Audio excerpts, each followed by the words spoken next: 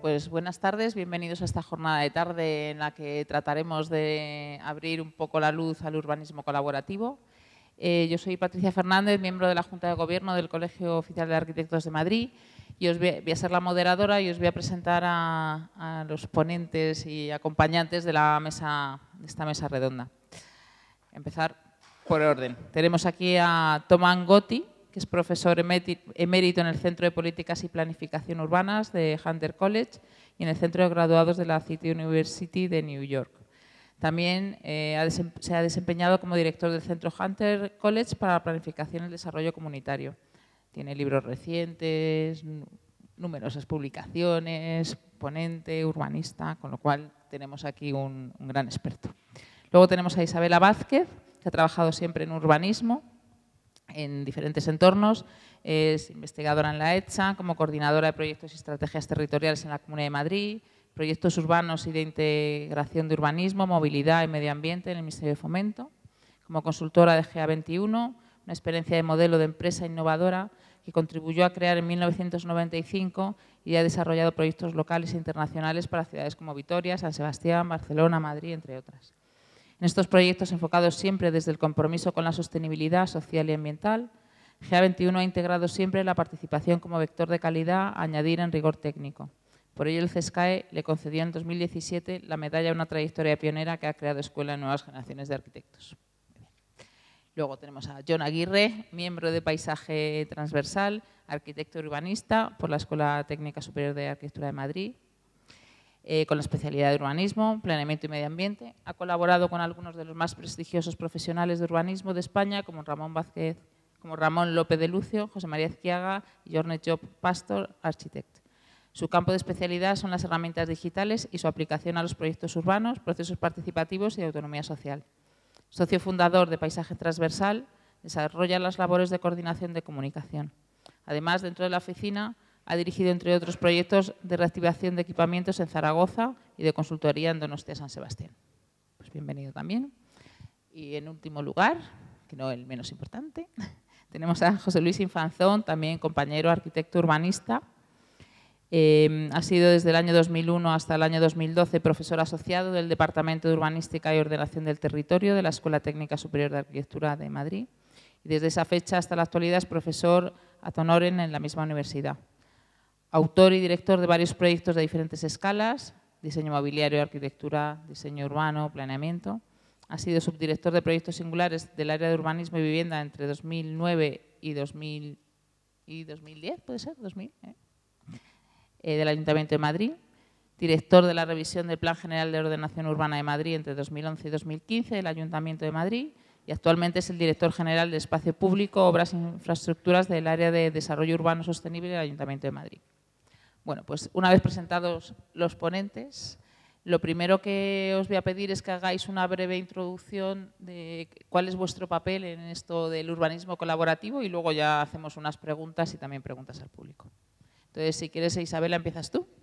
la primera en, el papel en esta, esta mesa redonda creo que es un poco trasladar eh, una sesión que tuvimos en el COAM, en el Colegio de Arquitectos de Madrid, el pasado jueves, en el cual coincidimos también eh, Jorge de Paisaje Transversal y yo. Estuvo bien porque fue una, o sea, estábamos pues una consultoría, una empresa, un equipo que llevamos muchos años, como 25 años, trabajando en estos temas con una amplia experiencia, pero con eh, un equipo emergente y absolutamente potente y poderoso que está ahí eh, tomando un poco el relevo de las cosas. ¿no? Pero lo más interesante de todo fue que estaba también Fernando Porras, que es un estudio, digamos, bastante convencional de estos estudios de arquitectura que lo ganan todo y que están haciendo puentes en Shanghái, no puente, puentes en Shanghái, ¿no?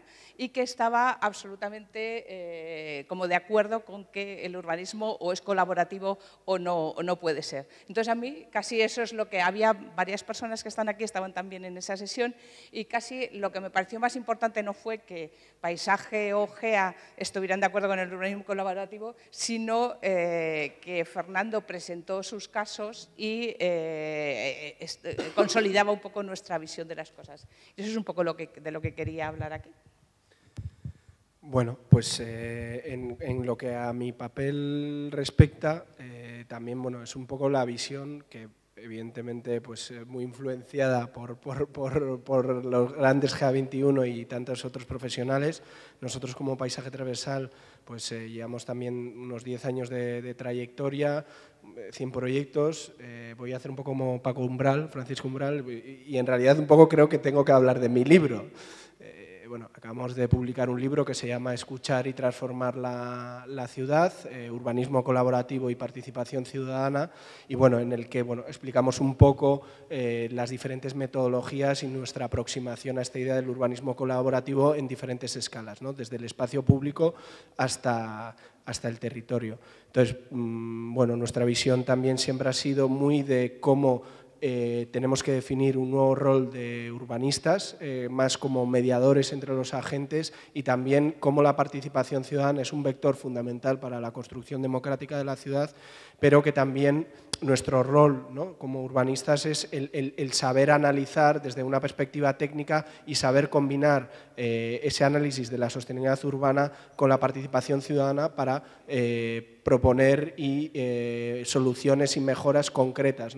También ser capaces de, muchas veces lo que decimos, de pasar de la protesta a la, propuesta, que es un poco el, vector que entendemos que también debe regir como, como el urbanismo colaborativo. Hola, buenas tardes. Eh, quizás mi, visión es eh, eh, más enfocada al punto de vista de la administración, porque en los últimos años básicamente mi trabajo ha estado vinculado a la administración municipal en las distintas escalas del, planeamiento, en las distintas escalas del, del urbanismo, teniendo en cuenta que la ciudad siempre es una construcción colectiva. Lo que pasa es que la clave quizás del nivel de colaboración o el nivel de participación dentro de la construcción de la ciudad está en definir la escala en, que esa colaboración se produce. Y en los últimos años, sobre todo, quizás mi mayor dedicación ha estado en el espacio público y creo que ahí es donde la colaboración, la participación y la construcción colectiva tiene un papel fundamental, porque el espacio público es probablemente el elemento más democratizador de una ciudad eh, es el espacio de todos. Eh, durante mucho tiempo el espacio público se concibió exclusivamente como el soporte de la movilidad, pero el espacio público también es el lugar de la convivencia, el lugar del ocio colectivo, el lugar de introducir la naturaleza en la ciudad, pero sobre todo en toda la historia ha sido el lugar de expresión de los conflictos, eh, expresión de los conflictos y el intercambio. Y, creo que ahí es donde se dirime el verdadero sentido de, de la ciudad, ¿no? en la construcción del espacio público. Bueno, gracias por invitarme. Yo nací en Nueva York, todavía vivo en Nueva York, pero porque hablo español, eh, he vivido muchos años en América Latina y eh, he trabajado 50 años en cuestión de eh, participación y urbanismo, pero entré a trabajar en esto primero como activista. Ah, empecé con las luchas para la vivienda justa, empecé con las luchas contra el desalojo eh, de eh, los, los, barrios más pobres en la ciudad de New York y en todas las ciudades de América. Y finalmente terminé con un doctorado en urbanismo. No soy arquitecto, no soy diseñador. Y esa es una distinción muy importante, porque para mí la colaboración, participación, solo tiene sentido con la perspectiva de un urbanismo, pero con una vista al futuro de 100, 150 años, a, larga, a largo plazo. En ese sentido, soy urbanista y activista 100%. El problema que siempre hemos encontrado es la planificación a corto plazo. El basado en un proyecto o dos proyectos. Y he tenido la suerte de participar en el movimiento para planificación a nivel de barrios en la ciudad de New York. Hemos producido, hemos, digo, yo no solo, ni siquiera he participado en todos, pero hemos hecho más de 100 planes de barrios que nacieron desde abajo, nacieron de los movimientos, algunos radicales y otros no muy radicales, algunos muy conservadores, eh, pero ha sido una experiencia muy importante y nos ha enseñado que se necesita hacerlo en cantidades en toda la ciudad y por un largo tiempo, porque hemos luchado 20 años para establecer, institucionalizar el proceso de planificación de barrio y hemos fracasado por la política a corto plazo que ha ganado y siempre gana, eh, porque su perspectiva es de una elección a la próxima. Pues un poco con lo que dices, si haces un urbanismo a largo plazo, ¿eso no puede generar frustración? O sea, en el proceso de participación, al final los agentes que intervienen, aparte de los técnicos que pueden pensar más a largo plazo, la administración también piensa a largo plazo, pero el ciudadano que es el que interviene en ese proceso participativo, si no lo ve, ¿no puede generarle frustración? Eso se lo pregunto a Tony a vosotros también.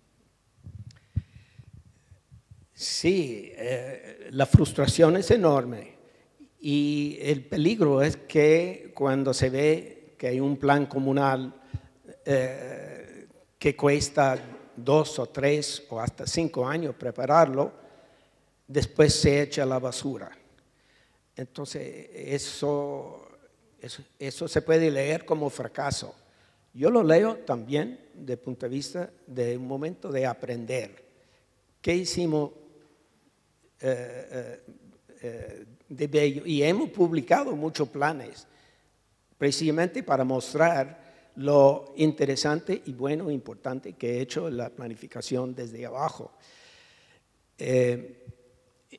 Hay otro tema que es muy importante, que ahora eh, eh, la ciudad de New York está en la costa.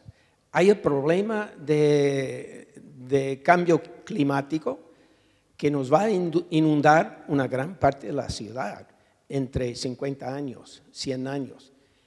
Y ahora se está abriendo el debate sobre el pensamiento a largo plazo, porque una parte de la ciudad va a estar bajo agua y es precisamente una cuestión social, económica, de discriminación cuando son los barrios pobres que están al lado del, del mar que se van a inundar y los planificadores oficiales, los arquitectos, los técnicos están pensando en salvar con la nueva tecnología a los barrios más, eh, eh, con más recursos. Isabela, ¿cómo lo ves? Sí, la verdad es que estoy de acuerdo con, Tom. Nosotros también, la verdad es que cuando empezamos un poco a plantearnos que había que cambiar no solamente la ciudad, sino el urbanismo y las herramientas para, para funcionar en la ciudad, eh, un poco la, nuestra primera idea era un poco pues eso, social, ambiental, ecologista, feminista. Eh, estábamos, mm, eh, estábamos enraizados, o sea, nuestras ansias de transformar ese urbanismo venían de, una conciencia social importante, ¿no? dentro y fuera de la profesión. ¿no? Pero luego, poco a poco, pues también nos hemos ido profesionalizando más, a lo mejor, y, activándonos menos. Pero, pero bueno, eh, la verdad es que eh, en, los pocas, en las pocas ocasiones, o sea, también hemos hecho pues como 100 procesos participativos a lo largo de todos estos años, ¿no? y en los sitios donde, donde mm, tenemos, digamos, un regusto más positivo del esfuerzo realizado que ha sido ingente, es en aquellos sitios donde se ha conseguido eh, pues que gobiernos multicolores consigan engancharse con un proyecto estratégico a medio plazo. Tenemos la, nosotros tenemos la experiencia, por ejemplo, de Vitoria-Gasteiz, donde desde en cuanto empezamos a trabajar, empezamos a trabajar con participación. Eh, yo creo que se trabajó muy bien porque la administración era una administración muy coherente y muy buena. No se creó el efecto vacuna que aparece a veces en algunos sitios cuando haces participación mal hecha y lo que, lo que, lo que resulta es que la gente se cansa de participar porque no ve sentido al, esfuerzo que eh, la gente que participa hace por estar allí y se han ido eh, montando, digamos, unos planes estratégicos de medio plazo eh, que han logrado una transformación, mm, yo creo que muy interesante y muy reconocida de la ciudad, ¿no? En San Sebastián, etcétera. Es decir, eh, este, esta visión a medio, este trabajar para el medio plazo y para el corto plazo a la vez, porque yo creo que efectivamente si no trabajas a la vez en, las tres, en los tres tiempos puede generar frustración. Incluso a, mí ahora me preocupa, por ejemplo, los presupuestos participativos, que me parece algo interesantísimo que se está llevando ahora a cabo aquí en Madrid y que es un tema importantísimo, pero sin embargo, digamos, el retardo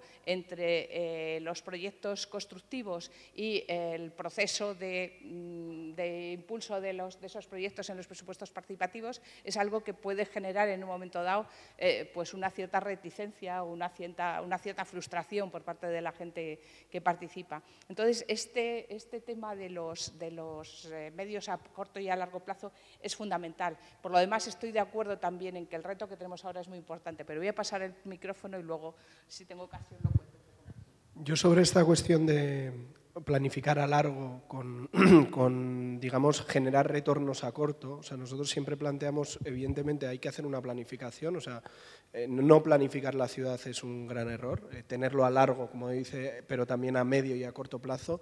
Y, evidentemente, la gente que participa eh, tiene que obtener resultados inmediatos, por así decirlo. ¿no? Entonces, nosotros trabajamos con una idea que le hemos llamado acciones catalizadoras. Es decir, nosotros cuando planificamos pues, un proyecto de regeneración urbana en un barrio, planteamos una serie de acciones que cubren un, aspecto bastante integral, desde cuestiones económicas, de dinamización económica, cuestiones ambientales, de movilidad, de cohesión social, de espacio público, de vivienda, etc. Y bueno, eso tiene una priorización de, ese tipo de acciones, se definen las acciones, se planifican en el, en el corto, medio y largo plazo y luego sí eh, que, la gente que participa es muy importante cuidar los retornos, ¿no? los retornos, lo que, lo que la gente recibe por haber participado en, esos procesos. Y en ese sentido, los retornos pueden ser de muy diversa magnitud, ¿no? pueden ser más intangibles, como bueno, el hecho de haber participado en la construcción colectiva de un proyecto, en la mejora de tu ciudad, el generar nuevos lazos comunitarios, etcétera, etcétera. ¿no? Pero también tienen que haber retornos tangibles, ¿no? desde el propio plan, que puede ser una herramienta que se le da a la comunidad para que presionen ante las instancias, digamos, administrativas o del gobierno local, pero también tienen que ver resultados. Y yo creo que es muy importante que cuando hagamos procesos de este tipo tengamos ya, eh, una vez finalizado, en el corto periodo, en, a tres meses vista, seis meses vista, acciones presupuestadas y ejecutables para que la gente vea que hay resultados tangibles eh, que se han producido este, de, estos procesos. Que luego hay otras más complicadas, que requieren más presupuestos, que serán a dos años, tres años, diez años, lo que sea, también pero, sí que tenemos que generar esas acciones catalizadoras y esos resultados eh, inmediatos, porque lo contrario efectivamente generamos mucha frustración y es contraproducente eh, también la participación. Eh, yo estoy de acuerdo con todo lo que se ha dicho. En realidad, la frustración se genera tanto en, la población, en, los vecinos, como en los propios profesionales cuando eh, determinadas acciones no, se desarrollan ni se llevan a cabo. Pero estoy completamente de acuerdo con Tom que hay problemas que solo se resuelven en el largo plazo.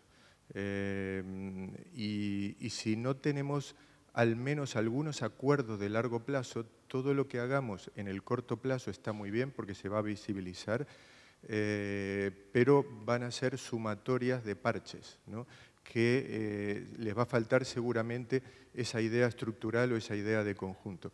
Hay temas como la educación, por ejemplo, o el modelo de ciudad que debería haber un consenso mínimo, independientemente de las ideas políticas y de los, de los equipos de gobierno, porque solo se construyen a largo plazo y no se pueden construir en, en periodos cortos. Y cuando me refiero a modelo de ciudad, es lo que yo siempre he intentado insistir en Madrid, ¿no? que le falta un proyecto de ciudad, le falta un modelo de ciudad, y a veces se ha ido construyendo a golpes de ocurrencias, ¿no? o a golpes de aciertos y desaciertos. ¿no? Pero esos modelos que, que a lo mejor es eh, ponerse de acuerdo en, en cosas tan básicas como si queremos una ciudad compacta o dispersa, una ciudad eh, segregada o integrada, una ciudad con mezcla de usos o con usos segregados, digo, por, por poner temas muy, muy generales que solo se consiguen con planeamientos de largo recorrido, eh, mm, hay que llegar a ese mínimo consenso. Pero el tema de la frustración de largo plazo es, es, cierto, por eso a mí siempre me han dado más satisfacción los proyectos cortos, por eso en los últimos años me he dedicado a hacer pequeñas obras que cuando uno las termina, eh, no solo uno queda más satisfecho, sino los propios vecinos.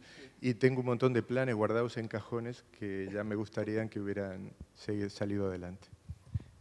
Si me permitís, por unir con una cosa también que ha dicho Isabela, que me parece importante sobre esta idea del largo plazo y el modelo de ciudad, eh, por ejemplo, Vitoria yo creo que lo asentó desde el primer plan de Ramón ¿no? de los 80 con eh, Ángel, ¿cómo se llamaba el alcalde? Ah, bueno, no me acuerdo. Pero ahí se asentó lo que, hoy, lo, lo que después terminó siendo la Green Capital ¿no? y todo el modelo de ciudad que, por el cual Vitoria es reconocido y que por ahí han pasado diferentes partidos políticos y lo han, y lo han mantenido. ¿no? Y eso creo que es muy importante de generar un consenso mínimo y una idea y articular esa idea desde ese consenso. ¿no?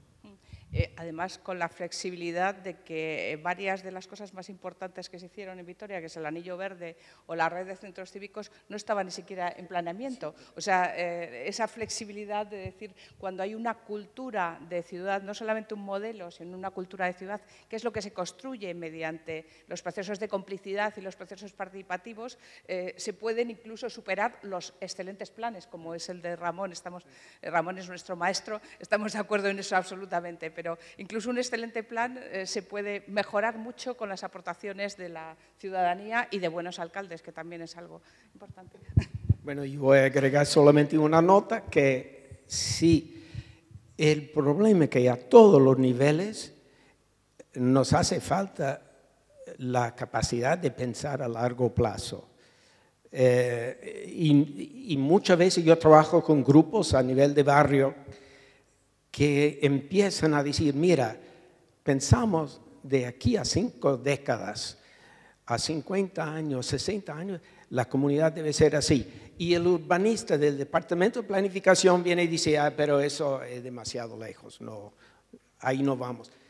Tenemos que cambiar la conciencia a todos los niveles de pensar en, mira, si hace 100 años hubieran preguntado, si el automóvil se debería convertir en el modo principal de transporte en la ciudad, se hubiera hecho un estudio, un discurso, una conversación sobre los medios de transporte, a lo mejor no tendríamos las ciudades inundadas de automóviles. Sí, yo también pienso que pensar a largo plazo es necesario, pero con planeamientos flexibles, porque dentro de 50 años, quién sabe qué nos deparará la vida, ¿no? que va cambiando mucho, entonces no pueden ser como planes muy rígidos, tienen que ser planes que puedan llegar, o sea, que sean flexibles, que puedan tener retornos cortos en parte de ellos y luego más. Bueno, y ahora yo quería introducir otro elemento que también en vuestro libro lo comentáis, para que veas que me lo he leído. los procesos participativos en el momento en el que entran, ¿no? el proceso participativo a un urbanismo colaborativo. O sea, si la ciudadanía entra una vez que ya los técnicos y la administración hemos decidido qué vamos a hacer y lo ponemos a disposición del público, o por el contrario, los técnicos hacemos después de una valoración de la ciudadanía, que al final es quien conoce los sitios, si son los lugares los que queremos planificar en el tema de espacios públicos, ¿Qué pensáis vosotros? ¿En qué momento tiene que entrar cada uno de los agentes, considerando agentes pues, el ciudadano, el técnico y la administración? Bueno, nosotros nuestra idea es que eh, la participación tiene algo como un guante, eh, algo que acompaña a todas las fases de esa construcción colectiva de la ciudad, como decía José Luis anteriormente. Es decir, eh, no se trata de hacer un proceso participativo y luego un proceso de planificación, sino que el proceso de planificación tiene que llevar ya, digamos, en su ADN esa colaboración. Y pienso que es algo, además, o sea, yo la verdad es que si antes estaba convencida de que había que hacer participación por esas razones, digamos, casi de justicia social que decíamos, ahora es que pienso que es, eh, es urgente e inevitable. O sea, que estamos en una sociedad de tal complejidad, o sea, los retos a los que nos tenemos que enfrentar, por ejemplo, el cambio climático, o por ejemplo, son de tal complejidad, la diversidad de la gente eh, a la que tenemos que hacer frente, porque antes teníamos una, una sociedad muy injusta, pero muy estructurada. Había una serie de gente, las mujeres sobre todo, que se dedicaban a, a, a hacer que las cosas funcionasen en la parte de la reproducción, los hombres se dedicaban a trabajar, etcétera, a trabajar eh, fuera, todas estas cosas. Ahora no, ahora tenemos una diversidad eh, de modos, de gente, de flujos, de personas, de, vidas diferentes, que yo creo que es imposible abordar una planificación sin contar desde el principio con esa, eh, esa colaboración, esa información, esa complicidad y esa negociación con las diversas formas de vida para las cuales tenemos que diseñar una ciudad que se va a parecer muy poco a la que ya tenemos, o sea, que no es una evolución como hemos tenido hasta ahora, sino que necesitamos una ciudad muy diferente. El otro día, el decano del Colegio de Arquitectos, que, eh, aunque solo sea por supuesto, no, no, no puede ser radical en los temas, le preguntaban en una entrevista sobre Madrid Central y decía, no es que nos tenemos que acostumbrar a una ciudad sin coche, los coches van a desaparecer de todo el centro de las ciudades, eso el decano del, COAM. ¿no? Entonces, eh, o sea, tenemos una, por delante un reto que, por una parte, para los urbanistas yo creo que es maravilloso. A mí me gustaría tener 30 años menos y estoy segura de que a Tom también, para poder enfrentar esto con, con, energía y ser John, a mí me gustaría ser John en un momento dado, ¿no? Pero, bueno, o, Juana, pero vamos, pero me parece un reto fantástico, pero tenemos que partir de esa idea, ¿no? De que yo quería, quería haber puesto una imagen de, Banks, de Banksy eh, que dice, señores, eh, eh, su estilo de vida está fuera de catálogo, tienen que ordenar otra vida, ¿no? No he podido ponerla porque no le he tenido un PDF, pero me hubiera gustado porque es eso, o sea, el reto es tan enorme que o lo hacemos colaborativamente o yo creo que es inviable desde el punto de vista técnico. Sí, además, yo creo este punto como de la colaboración, precisamente para abordar de manera colectiva esos retos a los que nos enfrentamos, también tiene que ver con la conceptualización de la participación. Y esto nosotros siempre lo hemos, decidido, lo, hemos defendido. O sea, la participación no es votar, la o sea, que también, pero eso solo no es. La participación no es que te den a elegir entre 20 mm, eh, eh, ejemplos y tú decidas cuál te gusta más en función de qué parámetros. Eh, la, participación es, son procesos de aprendizaje y construcción colectivas y de sensibilización. Es decir, efectivamente, por ejemplo, el tema este podríamos poner el tema del, coche, que es uno de los retos fundamentales de, las ciudades de, de, aquí a los próximos pues, 20, 30, 100 o años. ¿no? Es decir, que las ciudades no van a tener coches porque no pueden tener, primero, por, eh, por temas ambientales, por los límites del planeta, por una serie de cuestiones. Sin embargo, venimos, venimos de una cultura absolutamente dependiente del coche. ¿Y eso cómo se trabaja? Eso se trabaja precisamente a través de esa complicidad, ese aprendizaje, esa sensibilización, esas, eh, bueno, ese esos procesos de construcción colectiva de una idea de ciudad que todavía ni siquiera imaginamos. Pero el hecho de que no haya coches es, fundamental, o sea, y no es una cuestión de Madrid Central, es que lo están haciendo todas las ciudades, Europa te lo exige, Naciones Unidas te lo exige. Entonces, eso solo es posible, el, construir ese nuevo imaginario de ciudad, ese nuevo modelo de ciudad, desde ese consenso que aglutine toda esa diversidad y toda esa complejidad que hoy en día hay en las ciudades, o sea, desde los tipos de familias, desde las personas eh, que vienen y, desde los tipos de trabajo, o sea, quiero decir, la sociedad se ha modificado completamente y por lo tanto, ¿no? como decía Lefebvre, que, que la ciudad es la proyección global de la sociedad sobre el territorio, si la sociedad modifica, la ciudad eh, eh, impepinablemente va a modificarse. Entonces, para modificar eso, necesitamos a la sociedad en esa construcción de, un nuevo modelo y de un nuevo tipo de, ciudad.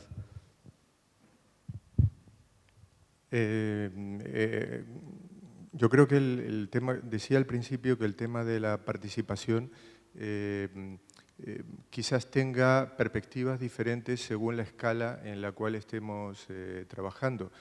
Eh, porque siempre hay que pensar, hay, dos cosas fundamentales en la construcción de la ciudad, como decía, que creo que es la escala, tener siempre presente la escala en la que trabajamos, pero trabajemos en la escala que estemos trabajando, tenemos que pensar en todas las escalas a la vez, porque cada escala es interdependiente de las otras, y el tiempo, el plazo. Por eso que, aunque trabajemos en, un elemento a muy corto plazo, en una propuesta a muy corto plazo, siempre tenemos que pensar en el largo plazo y esa propuesta tiene que estar imbricada en una idea o en un modelo de largo plazo, que es el que hay que debatir y es el que hay que construir. Y tienen que ser coherentes estos modelos. En las experiencias, por ejemplo, en estos últimos años, en el caso de proyectos eh, de espacio público de la ciudad, hemos trabajado en proyectos de escala de ciudad, en participación en proyectos de escala de ciudad y participación en pequeños proyectos de, una plaza. Y, creo que los mejores resultados los hemos conseguido en la pequeña escala, porque la participación se pudo construir casi en cada paso del proyecto. A medida que íbamos modificando el proyecto, eh, la propia participación, la propia colaboración, en este caso de vecinos, eh, iban mejorando y transformando el proyecto. Los proyectos de, quizás de escala de ciudad requieren saltos, saltos al vacío, que eh, a veces producen algunas distorsiones en ese, en ese proceso de participación. Pero bueno, en todo eso estamos aprendiendo e intentando ir perfeccionando los, los sistemas. Eh, pero hemos, por ejemplo, en, en uno de los casos, eh, elaborado un proceso conjuntamente con el área de participación, un proceso de participación muy complejo, que no lo habíamos hecho nunca, lo ensayamos, pensamos que nos íbamos a equivocar y al final el resultado fue bastante bueno, porque es unir, en el caso de la Plaza de España, del concurso de la Plaza de España, unir un concurso de ideas con profesionales, con participantes profesionales, además internacional de todo el mundo, con la participación colectiva de los madrileños incluso hasta la participación en la formulación del cuestionario que se le iba a hacer a los ciudadanos para determinar cuáles eran las demandas fundamentales a colocar en el pliego, en las bases de ese concurso. O sea, la participación fue hasta para construir ese cuestionario, porque en eso sí estoy completamente de acuerdo. A veces es más importante formular bien la pregunta que la propia respuesta. Si una pregunta está bien formulada, la respuesta casi es, es natural. Y, creo que en eso sí acertamos, en, en construir colectivamente hasta las preguntas que se hacían para determinar esas primeras demandas para ir introduciendo en ese proceso que fue largo y esperemos que el resultado, que, lo, desarrollaremos a partir del próximo año, eh, lo demuestre, que, ha sido un buen sistema, un buen proceso. Eh, bueno, estoy de acuerdo con todo. Quiero agregar dos cosas. Uno, hay que incorporar en nuestra práctica, nuestra teoría, es la idea de conflicto. Eh, muchas veces los profesionales se huyen, los políticos también, se huyen del conflicto que existe en la sociedad y quieren un, un discurso público pacífico donde no hay discusión fuerte, donde nadie se pone caliente y eso eh, me, lleva al segundo punto, que, porque yo vengo de una sociedad muy dividida en cuestiones raciales, eh, entre blanco y negro, y los barrios negros son siempre los barrios que, donde se hace el desalojo en masa. Entonces ahí nació, yo entré en la planificación urbana defendiendo los barrios en, la época de derecho civil, el movimiento de derechos civiles, y lo principal, la lucha principal era con el gobierno local que no quiere conflicto, pero el conflicto existe. Hay que reconocer los conflictos que existen en la sociedad y trabajar con ellos y saber eh, eh, cómo eh, discutir entre nosotros a diferentes niveles.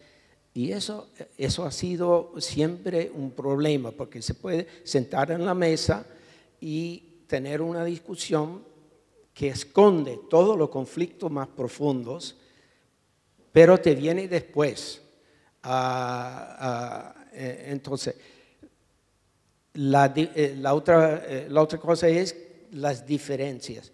Mi experiencia en Estados Unidos, cierto, las grandes líderes en la participación y la planificación comunal son mujeres, 100%, 100%. Y eh, eh, porque son mejores en lidiar con el conflicto y con la conversación y el diálogo y, no son necesariamente tan violentos como nosotros. Entonces, eso es muy importante. Eh, diseñamos los proyectos para evitar el conflicto. A lo mejor tenemos que diseñarlos para confrontarlo y eso no se va a resolver en una reunión o un proceso de un año o dos años, pero a largo plazo. yo tenía una última pregunta, pero para ser con el tiempo bien, eh, ¿tenéis alguna pregunta en el público que queráis hacerle? Tenemos 15 minutos. Eh, bueno, hay muchas preguntas, con lo cual mejor que preguntéis vosotros más que yo preguntaros otra. Hola, eh, soy Daniel. Eh, me toca dirigir una oficina de planificación en Chile, en Puerto Montt, una ciudad pequeñita de 250.000 personas.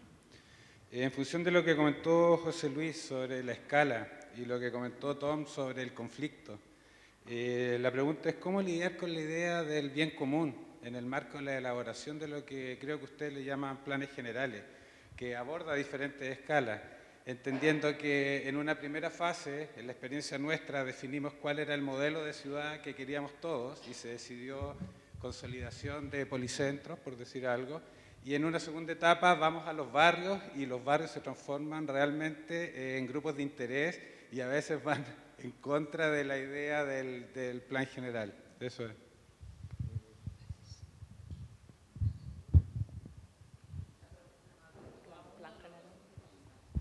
Eh, bueno, eh, el, plan general, como, se le llama aquí en, España, o master plan que se le llama en algunas ciudades, que es un intento de planificación global de la ciudad, tiene muchos problemas. Eh, uno de los problemas que tiene, por lo menos aquí en España con la legislación española, es la rigidez. Patricia hablaba de la necesidad de flexibilizar. en una sociedad tan dinámica como en la que vivimos y con cambios tan importantes, los planes suelen quedar obsoletos a los dos o tres años de, haberse redactado, casi en menos tiempo del tiempo que lleva redactarlos. Entonces, em, eh, y el problema de, esa planificación global es que, como decía, de esa escala global a veces es muy difícil reflejar conflictos locales en esa planificación global.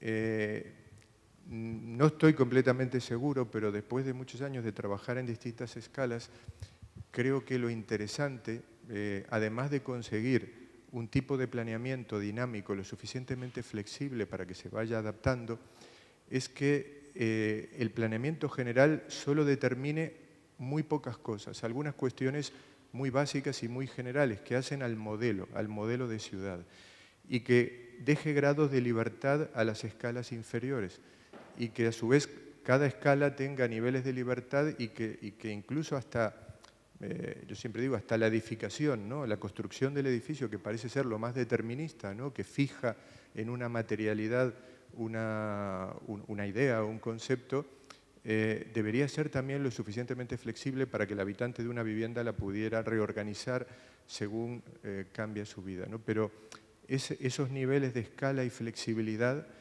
yo creo que son fundamentales para esto. Y también el tema del conflicto. Yo completamente de acuerdo con Tom.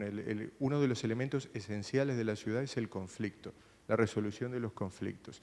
Y es verdad que las administraciones siempre huyen del conflicto. En general, eh, la política huye del conflicto, ¿no? Eh, porque siempre es más, más agradable trabajar en una, en una sociedad pacífica. ¿no?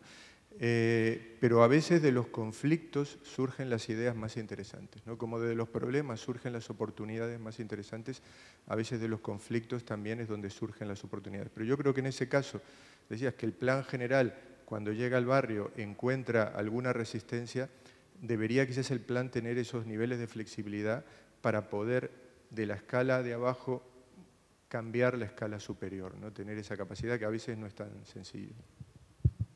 Yo es que hubiese hecho al, revés. O sea, yo hubiese construido o hubiese planteado el modelo de ciudad desde los barrios, es decir, desde preguntar a los barrios cuáles son sus necesidades, sus, sus eh, problemas, y desde ese análisis de los problemas de la ciudad, desde los barrios, pero también, o sea, estoy de acuerdo que siempre hay que tener una visión un poco más estratégica. ¿no? Eh, ahí es donde el plan eh, que estoy totalmente de acuerdo que debemos ir hacia unas figuras mucho más flexibles, mucho más en la línea anglosajona. ¿no? Eh, bueno, ahí desde esa detectar y poner en común esos problemas, que el modelo de ciudad o las estrategias de ciudad vengan a resolver esos problemas y entonces sí que, que, seguro tendremos un consenso sobre muchas cuestiones. Pero sin embargo nosotros ya imponemos desde un pensamiento top-down una idea ¿no? de, abajo, de arriba abajo, eh, una idea de ciudad que los barrios pueden que no estén de acuerdo ni se les ha consultado, entonces es cuando seguramente se rechace, como es lógico.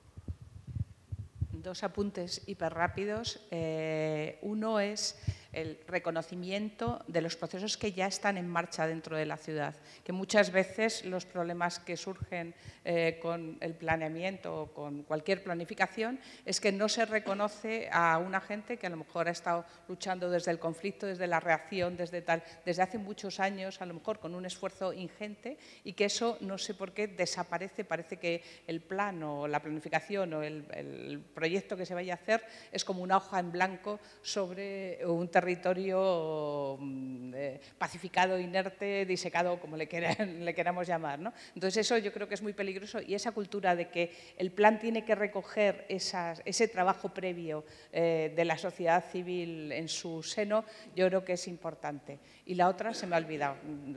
Paso una, una, nota histórica. Eh, el plan a nivel de ciudad fue una invención del siglo a finales del siglo XIX. Los franceses, los ingleses, etc. Buena idea, pero eh, en esa época no había ni una área metropolitana mayor de un millón de personas. Ahora la idea de hacer un plan a nivel de todo Madrid, todo Barcelona, todo New York, es horrible, es imposible casi.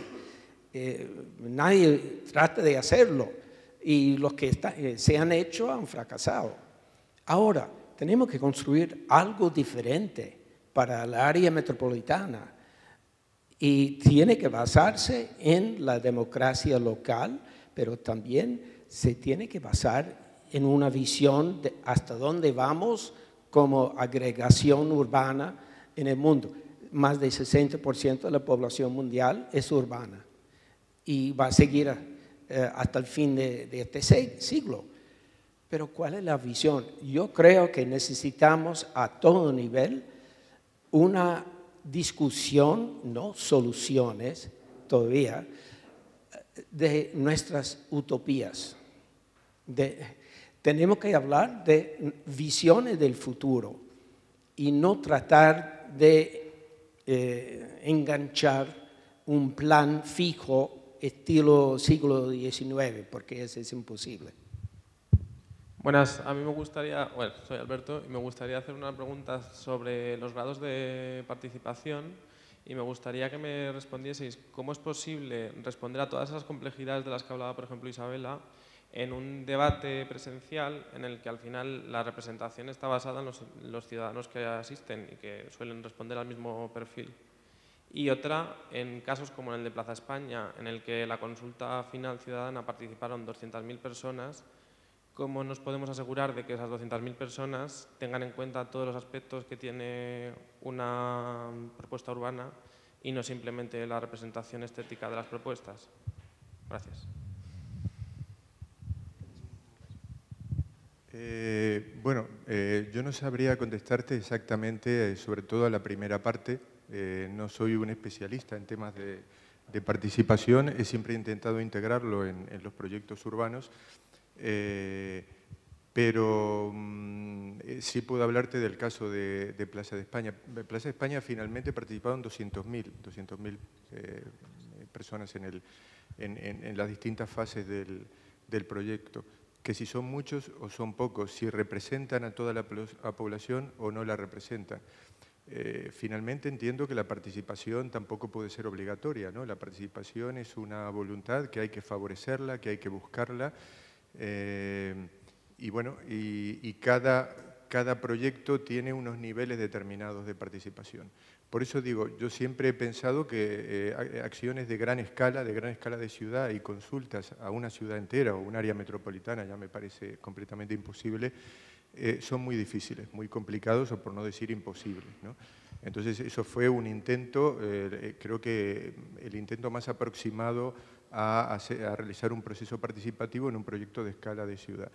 Yo lo, creo que los procesos más interesantes han sido los procesos de escalas eh, pequeñas, donde eh, esas voluntades, esos conflictos diferentes se, han podido expresar y se han podido clarificar de una manera eh, tal y se han podido integrar al proyecto. En un caso concreto de una plaza aquí en el centro de Madrid, al final nos sentábamos en una sala como esta con la mayor parte de los vecinos, o, por supuesto con toda la representación de los vecinos del entorno de, esa plaza.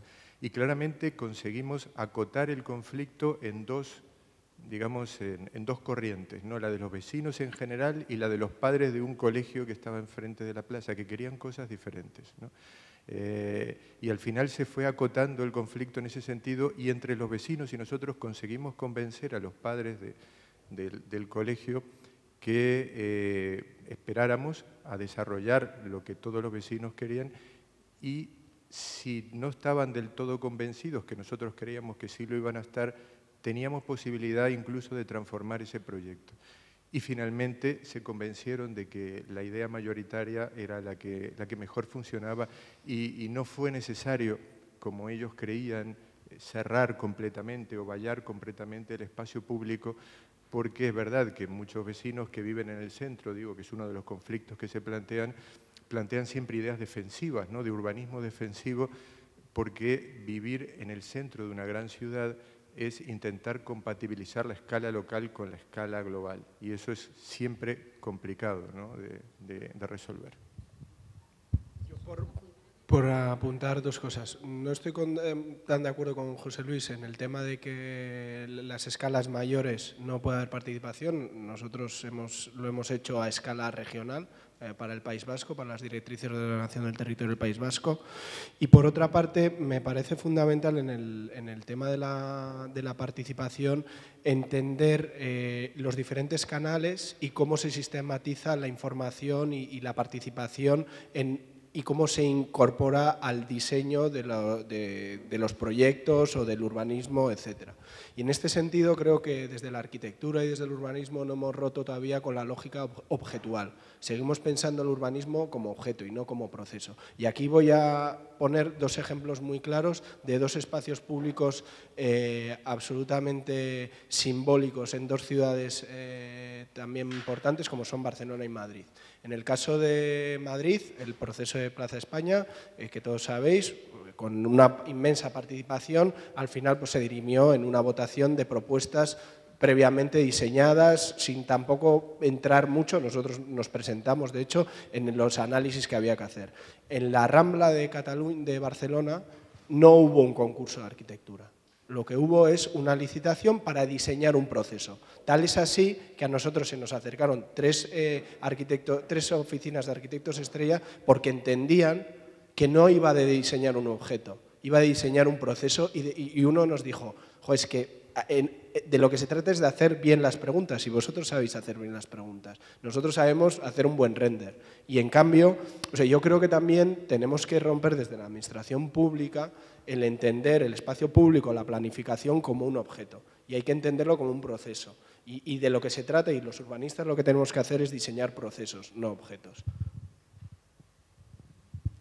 Bueno, eh, bueno la, pregunta que has hecho yo creo que abre, abre para un gran debate. De todas formas, yo lo que quería plantear, bueno, quería plantear, creo que hay un, aspecto eh, que es muy importante en el ámbito de la transformación urbanística y que viene, yo creo que viene inspirado por el paradigma ecológico, que es el concepto de irreversibilidad. Yo creo que toda transformación tiene una, eh, se mueve entre un gradiente de reversibilidad y irreversibilidad, que es lo que muchas veces define el carácter de corto o largo plazo que puede tener un proceso de este tipo. Y yo creo que eso es importante. Yo, soy Carlos Verdaguer de GA21 y yo creo que nuestra experiencia, eh, esta idea nos ha dado muchas veces la clave. Hay procesos que incluso cuando se le pone el nombre al urbanismo colaborativo o participativo o siguiendo a, Habermas, a Jürgen Habermas, deliberativo, casi el deliberativo es importante, porque a veces se oculta, como decía Tom, eh, eh, la, esfera del conflicto. Y muchas veces el conflicto se produce cuando el ciudadano reacciona frente a lo que muchas veces y generalmente con gran intuición comprende como un proceso irreversible de transformación, ya sea la destrucción de parte de la identidad de un lugar o ya sea la inserción, también la destrucción de esa identidad mediante la inserción de un elemento eh, que mm, generalmente eh, eh, asociado a una lógica de mercado. Entonces yo creo que esto muchas veces es lo que pone sobre el tapete la necesidad de actuar con urgencia, muchas veces lo que, lo que explica los, conflictos. Y en ese sentido yo creo que estoy de acuerdo en, en que las visiones, la, la concepción del urbanismo que hay detrás de los diferentes paradigmas es la clave. O sea, saber que el, urbanismo, digamos, moderno, el progreso siempre ha funcionado con la idea de que cuanto más se transforma, mejor, sin, sin insertar el concepto de irreversibilidad.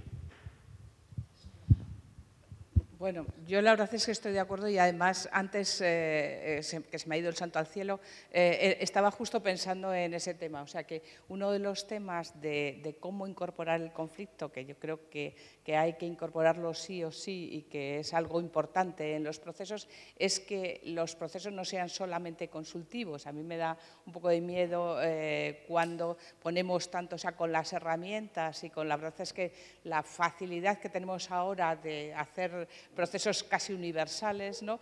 Eh, los enfocamos excesivamente en los temas consultivos en vez de en los temas deliberativos. Los temas deliberativos también son difíciles, estoy de acuerdo eh, contigo absolutamente que eh, el conseguir que en, un espacio de diálogo, un espacio de deliberación, tener la diversidad suficiente para que realmente estén todos los intereses, todos los puntos de vista, todos los, todo lo que necesita para tener una, opinión, una mm, opción informada es, difícil, pero bueno, eso es trabajo, o sea, hay que hacerlo así de bien, porque la realidad a la que nos enfrentamos es así de compleja. De todas maneras, mi experiencia, eh, en la cual yo he aprendido mucho más muchas veces de procesos participativos que de la propia, de, mi historia profesional, digamos, la experiencia es que esas visiones integrales, esa visión eh, de lo que va a pasar en el futuro, ese integrar todos los temas que nosotros en urbanismo muchas veces no hemos sabido hacer. O sea, la salud la acabamos de integrar con movilidad y por eso estamos donde estamos en este momento, pero hasta ahora eh, la movilidad parecía que era el tráfico, ¿no? Pero sin embargo, cuando llegas a un sitio y empiezas a hablar con la gente de un barrio, con la gente de, un lugar, eso, eh, si no tienes, digamos, la, cuadrícula eh, sectorial que te impone la profesión, lo ves de forma mucho más clara y si la gente que está es diversa, se produce ese ese conocimiento de la realidad profundo e integrado, que es lo que estamos buscando para poder tomar decisiones. Bueno, solo de acuerdo con eso. Yo este, tengo una impresión, después de tantos procesos de planificación a nivel de barrio, que hay personas a nivel local que tienen la capacidad, primero, de vivir con el conflicto. Esa es otra cosa. Nosotros, eh, los profesionales, queremos eliminar los conflictos. No, no, se puede eliminar. El barrio que no tiene conflictos es un barrio de muertos. Eh, hay que saber vivir con el conflicto y también hay que saber eh, conocer las visiones integrales desde abajo. O sea, eh, nosotros como urbanistas recibimos un entrenamiento que, que, nosotros, nosotros somos los que tenemos la visión integral de la ciudad. No, hay personas a todo nivel que tienen esa capacidad de ver, de, y ¿sabe por qué? Porque hay, hay una persona que vive en una familia donde tienen tres hijos que van a la escuela, que tienen problemas de salud bueno, ahí tienes sistema de educación, de salud, de movilidad.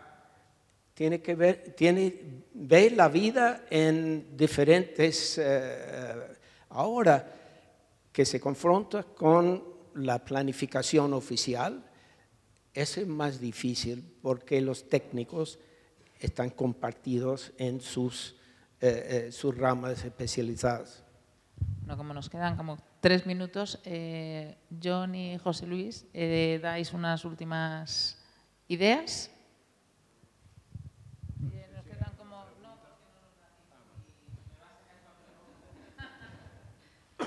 Bueno, eh, no, solamente para complementar lo que decía Tom de la, de la compartimentación, eso es otro de los temas recurrentes y que yo creo que con los que hay que luchar, es que los técnicos solemos tener visiones eh, segregadas de, la ciudad y de la realidad, sectoriales sobre todo. Y al final a veces construimos Frankenstein, ¿no? porque cada uno lo hace desde su particular visión eh, sectorial. También a veces pasa con muchos movimientos sociales ¿no? que defienden algún tipo de reivindicación concreta. ¿no? Los defensores eh, a veces me siento en mesas ¿no? con los defensores de la bicicleta, por ejemplo, y dentro de los defensores de la bicicleta, si hay 15 asociaciones, hay 25 opiniones diferentes, porque también entre ellos hay un debate interno y un conflicto interno de cómo debe integrarse la bicicleta en la ciudad, pero luego están eh, los defensores de eh, los colectivos con discapacidad, los defensores de los automóviles, de, bueno, la, ciudad es un ámbito de conflicto y eh, lo que quizás uno de los mayores desafíos es integrar esos conflictos de la manera más equilibrada posible para ir construyendo poco a poco una ciudad mejor. Yo sí, eh, súper breve. Yo creo que para hacer efectivo el urbanismo colaborativo hay tres cuestiones un poco resumen también de lo que se ha dicho. Una cosa es eh, relativa a las herramientas, es decir, tenemos que ir a herramientas más flexibles que se adapten más a la diversidad y la complejidad de la ciudad, y ahí diría pasar del planeamiento a la planificación. Otra cuestión, la participación de que sea un guante, ¿no? como bien han dicho, que acompañe todos los, eh, eh, todos los momentos del proceso de planificación y del urbanismo, desde los análisis al, diseño de las propuestas y finalmente, eh, y como proceso de aprendizaje y construcción colectiva más en lo deliberativo que en lo consultivo, poniendo más el, enfoque en, lo deliberativo. Y por último, esa idea de integralidad, es decir, de abordar la complejidad urbana desde perspectivas disciplinares y visiones eh, ciudadanas diversas y diferentes que converjan en un solo proyecto. Bueno, pues ya yo creo que se acaba el tiempo. La, pregunta que nos hice, pero lo dejaremos para otra vez, es cómo metemos a los ciudadanos pequeños, a los niños, cómo hacemos la ciudad de los niños y que los niños tienen mucho que decir. Al final es la, su ciudad, la ciudad que van a vivir mañana y yo creo que es muy importante tenerlos en cuenta en todos los procesos de participativos y de colaboración. Pues daros las gracias a los cuatro, a todos vosotros por estar aquí y a seguir con, con Surcon.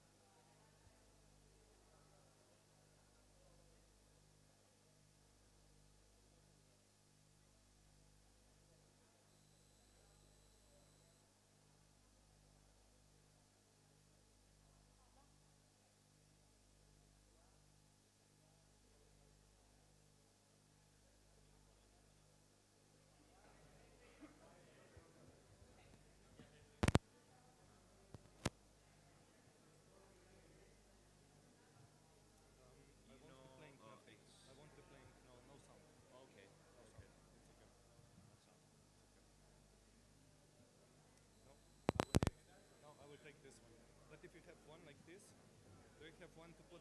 No, okay, then I.